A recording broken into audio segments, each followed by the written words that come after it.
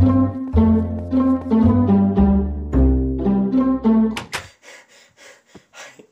finally found you.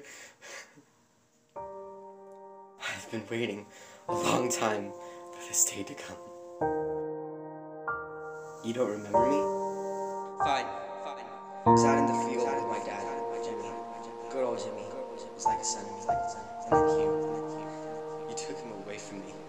You slaughtered an innocent pig. And then you have the audacity to viciously burn him in that stupid furnace. To